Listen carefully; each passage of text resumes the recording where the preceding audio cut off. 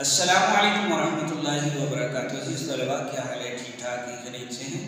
उम्मीद है कि आप लोग अपनी तालीमी सरगर्मियाँ जारी रखे हुए होंगे। आज के इस्लामियात के सबक में हम नमाज़ ही के मतलब पढ़ेंगे और नमाज़ के समरात और फ़ायदे पढ़ेंगे। देखिए, दुनिया में कोई भी काम करते हैं, उस काम के कुछ समरात होते हैं, कुछ फ़ायदे होते हैं तो अल्लाह ताला ने जितनी इबादत हमें अदा फरमाई हैं, हम पर फ़र्ज़ की हैं, उनके भी कुछ फ़ायदे और समरात हैं।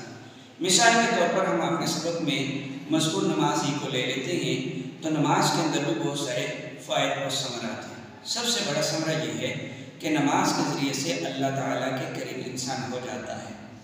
इसी तरह जो नमाज़ खुशू और खुजू के साथ पढ़ी जाती है, वो अल्लाह ताला को बहुत ज़्यादा पसंदीदा है। इसी तरह अगर हम गौर करें तो सुबह के वक्त, जिस वक्त हम नमाज़ के लिए अपने घर से वज़ू करके निकलते हैं तो हम चलते हुए जाते हैं आमतौर पर आपने देखा होगा, लोग सुबह के वक्त मुख्तलिफ़ पार्कों में, मुख्तलिफ़ जगहों में छेड़ करने के लिए निकलते हैं। तो ये एक जिस्मानी तौर पर नमाज़ के लिए आना हमारे लिए वर्जिश का ज़रिया भी बन जाता है। इसी तरह जब हम मस्जिद में चलते हैं, बाजमात नमाज़ पढ़ते हैं, हमें अपने दीगर लोगों के हालात से बखबरी मिलती है। किसी पर कोई बीमारी है, परेशानी है, हम उसके दर्द बांट भी सकते हैं।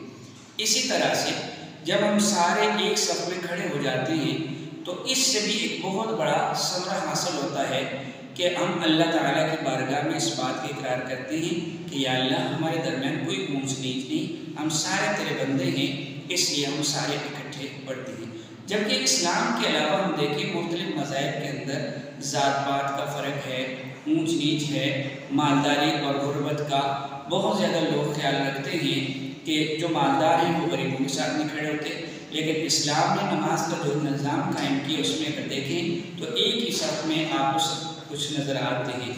अलामा मोहम्मद इकबाल का एक मशहूर शहर है, एक ही सफ में खड़े होकर महमूद अयास न कोई बंदा रहा, न कोई बंदा नमाज़। तो नमाज़ के बहुत सारे समरात हमारे सामने आते हैं। जब हम अपनी किताब में देखेंगे तो इसमें भी हमें तकरीबन ये सारी चीज़ें मिल जाती हैं। तो इसमें आप लोगों का अमली सबक ये होगा कि अगर आप यहाँ गौर से देखें तो ये मुख्तलिफ़ पॉइंट की सूरत में आपके सामने लिखे हुए हैं। तो आपने इनमें से कोई से तीन अपनी किताब पर लिख लेने हैं और ये सारे याद करने हैं। यूँ हमारे ये आज का सबक जो है, ये मुकम्मल हुआ।